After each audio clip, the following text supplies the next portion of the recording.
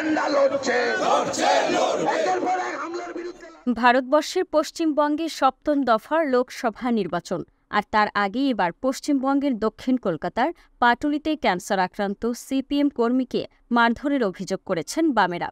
এ অভিযোগের আঙুল তারা তুলেছেন তৃণমূল কংগ্রেসের দিকে।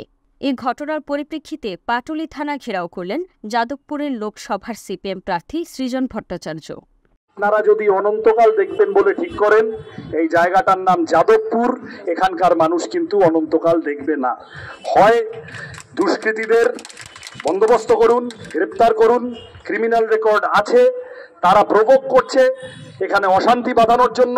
আমাদের কাছে নির্দিষ্ট খবর আছে, কোন এলাকায় কোন কনস্ট্রাকশন তৈরি হচ্ছে, তাতে কোথা থেকে কারা এসে ভোট বানচাল করার চেষ্টা করবে, লুট করার চেষ্টা করবে।